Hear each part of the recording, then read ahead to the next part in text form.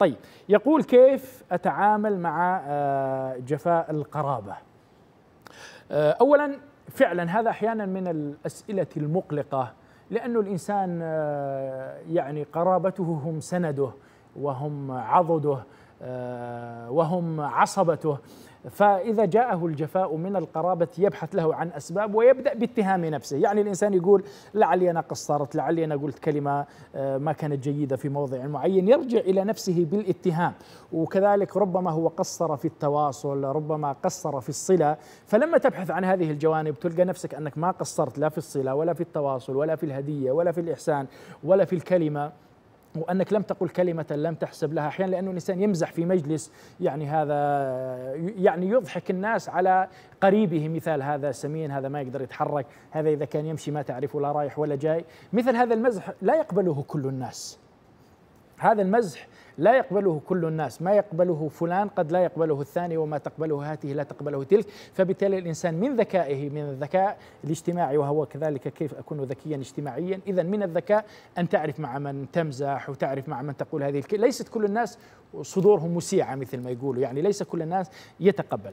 إن وجدت أنك لم تخطئ لم تقصر لا في الصلة والتواصل فأقول لك أكثر من الدعاء لهم.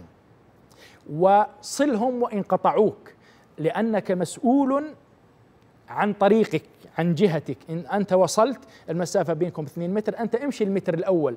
إن وصلوا بالمتر الثاني فقد وصلتما إلى بعض. إن قصروا فعلى الأقل تبقى المسافة متر ولا تبقى المسافة 2 متر. ثالثا معذرة إلى ربكم حتى تقدم على الله يوم القيامة. ويا رب أنا قدمت الذي علي. أنا وصلتهم أنا أحسنت إليهم أنا أهديتهم. فاذهب إلى الله عز وجل بقلب سليم. إلا من أتى الله بقلب سليم سليم من الشرك. سليم من البدعة سليم من الغل والحسد. أنا لو أقول لك جيب كيس إسمنت وحطه على ظهرك طول اليوم. شفت كيف ثقيل؟ بل لا تطيقه أصلا.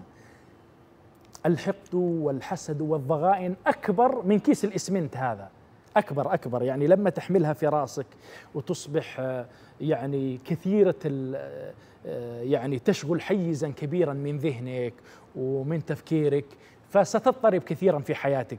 خفف عن عن نفسك أكياس الإسمنت ولا تحمل في قلبك غلا ولا حسدا.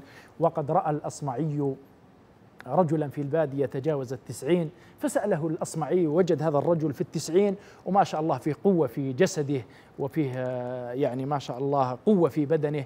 فسأله عن سر هذا قال تركنا الحسد فبقي الجسد. فاصل ثم نعود بإذن الله.